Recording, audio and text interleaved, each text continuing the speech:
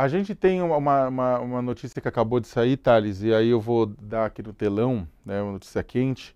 É, houve um tiroteio em uma escola nos Estados Unidos, em Iowa, no estado de Iowa, é, a Perry High School, né, em Perry. Né, uh, a polícia confirma que houve um tiroteio e ainda não há informações, é, mais informações sobre isso.